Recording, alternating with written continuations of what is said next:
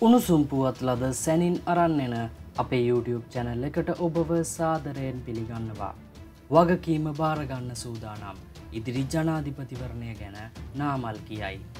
ඉදිරි ජනාධිපතිවරණයේදී සිය පක්ෂයේ ජනාධිපති අපේක්ෂකයා තෝරාගන්නේ විපක්ෂයේ අපේක්ෂකයා කවුද යන්න තීරණය කිරීමෙන් පසුව බව ශ්‍රී ලංකා පොදු ජන පෙරමුණේ පාර්ලිමේන්තු මන්ත්‍රී නාමල් රාජපක්ෂ මහතා පවසනවා. ඉදිරි ජනාධිපතිවරණයට පක්ෂය යෝජනා කරන ඕනෑම වගකීමක් භාර ගැනීමට තමා සූදානම් බවත් අමාත්‍ය දූර භාර නොගෙන පක්ෂය ප්‍රතිසංවිධානය කිරීමේ කටයුතු වෙනුවෙන් කටයුතු කරන බවත් ඔහු කියා සිටී. මන්ත්‍රීවරයා මේ බව පැවසූයේ නෙත්තෙෆම් ගුවන් විදුලියේ වැඩ සටහනකට එක්වෙමින්. ඒ ගැන ඔබේ අදහස් පහතින් කමෙන්ට් කරයි යන්න අමතක කරන්න එපා.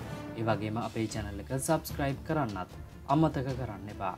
ඔබ සැමට සුබ දවසක්.